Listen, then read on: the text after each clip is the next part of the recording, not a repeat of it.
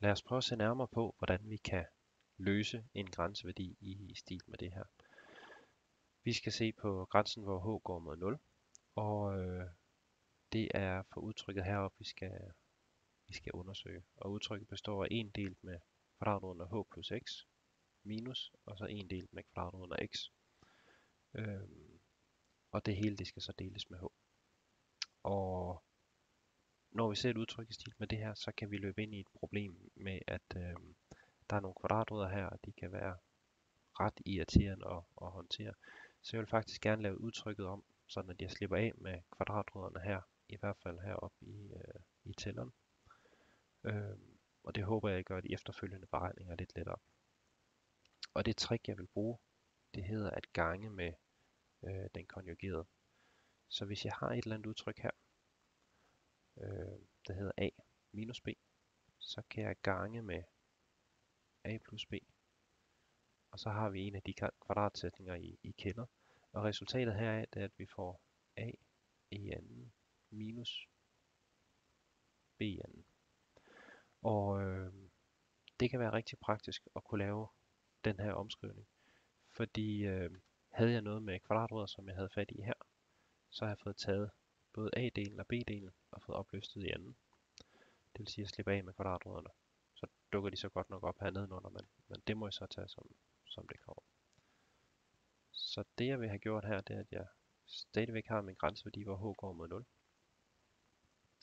Så har jeg den her e delt med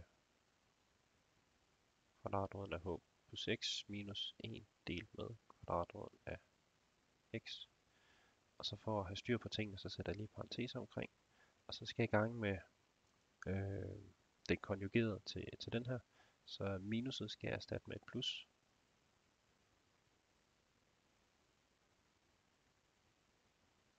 Nu skriver jeg plus her, og så har vi en delt med kvadratet x. Og så kan jeg så dele det hele her med, øh, med h, ligesom vi har gjort hele tiden. Og øhm, umiddelbart ser det bare ud til, at jeg har lavet udtrykket øh, mere besværligt. Hov, jeg glemte en vigtig del. Når jeg forlænger en bryg, så skal jeg både forlænge tælleren, men jeg skal også forlænge nævneren.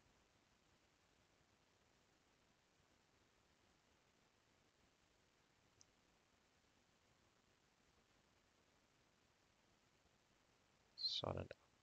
Så tror jeg, jeg fik det, det hele med. Nu har jeg forlænget bryggen både for tælleren og for nævneren. Øh, og så kan jeg egentlig bare begynde at og regne igennem med, hvad de forskellige ting er. Vi har stadigvæk grænseværdien af h, der går mod 0. Og så, hvis jeg ganger den første på her, så får jeg 1 delt med x plus h minus. Og så har jeg 1 delt med x. Sådan der. Og så kan jeg så dele med h ganget med, og så havde jeg den her kvadratrod 1 minus, eller 1 delt med x plus h, plus kvadrat 1 delt med kvadratrod x. Godt. Og så skal jeg lige se, hvordan jeg kan komme videre.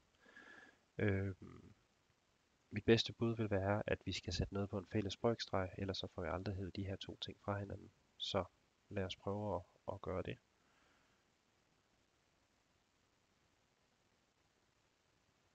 K, der går mod 0, og så sætter vi på fælles brygstreg, så vi har øh, x plus h. Det var fra den første bryg. Vi har x fra den anden. Så skal vi bare have forlænget med de, med de rigtige ting. Så for at få nævneren til at passe her, så skal vi gange med x, det vil sige, at vi får en, en faktor x heroppe, så har vi minus. Og så for at få den her bryg til at have den rigtige nævner, så skal vi forlænge med x plus h på 1, så det bliver noget med x plus h. Og så skal jeg lige være opmærksom på det her parentes for, at, at det hænger sammen. Så det var det, vi havde ovenover. Og så det, vi har øh, nedenunder, det var stadigvæk øh, h gange med, og så vores parentes. 1 delt med kvadratrod x plus h plus 1 delt med kvadratroden af x. Sådan her. Øhm, og så lad os se, hvad vi egentlig kan komme videre med, med det her. først og fremmest kan vi lige lægge mærke til, at vi har både x heroppe, og så har vi minus x, og så har vi minus h tilbage. Øhm, og den her minus h kan gå ud med, med hovedet, der står hernede. Så hvis vi lige får skrevet det hele op efter de her ting, vi i hvert fald lige har, har lagt mærke til, jamen hvad er der så tilbage? Så har vi øh, minus 1 delt med, så har vi x plus h gange med x. Det hele nedenunder brygstregen her. H'et her var gået ud med, med det her op, og så havde vi en kvadratrod. Undskyld, vi havde ikke en kvadratrod, vi havde 1 delt med en kvadratrod af x plus h plus 1 del med kvadratroden af x. Sådan her. Godt. Og det kan vi eventuelt godt øh, forsimple lidt mere på, men vi kan gøre noget andet først. Og det er, at vi kan se på, på det her element for element.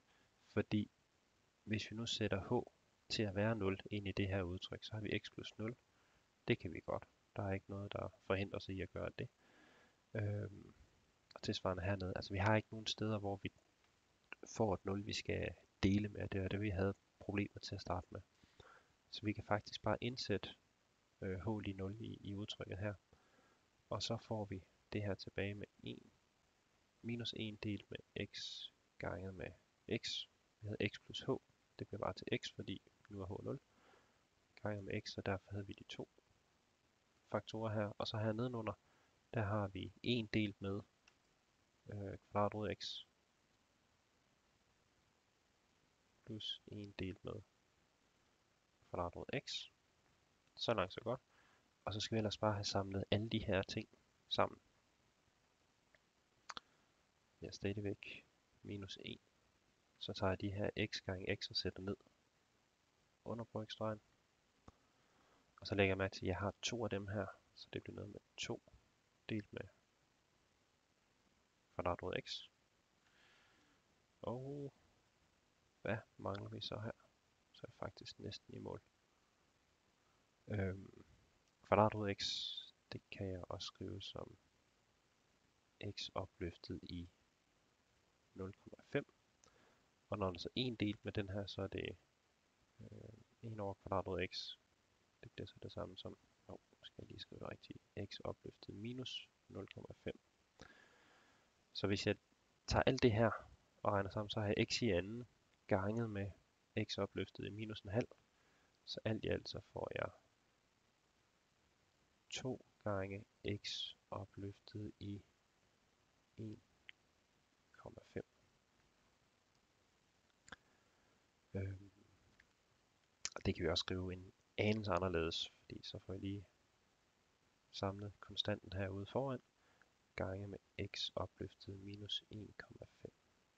Og så har vi faktisk øh, et udtryk for den afledte af, af den funktion, vi, vi startede med at se på, nemlig den her 1 delt med kvadratroden af x. Så øh, vi kan også skrive, at det her det er det samme som ddx af 1 delt med kvadratrod x. Så det er faktisk det, vi har, har regnet ud. Øhm, egentlig ikke det, der er det vigtige resultat i, i det her, men jeg er mere interesseret i at have vist jer nogle af de her øh, regnetricks, der bliver brugt undervejs. Primært det her med at, at gange med den konjugerede, sådan at man kan slippe af med nogle ting, der står med, med kvadratrødder. Og en anden god egenskab ved det her, at nogle gange så får man skiftet et minus til et plus, hvis der er nogle, eller man kan muligvis få nogle ting, der kan gå ud med hinanden, og så øh, står der noget tilbage, man bedre kan håndtere. Så det var lige endnu et eksempel på en grænseværdi og en teknik til at, at løse det.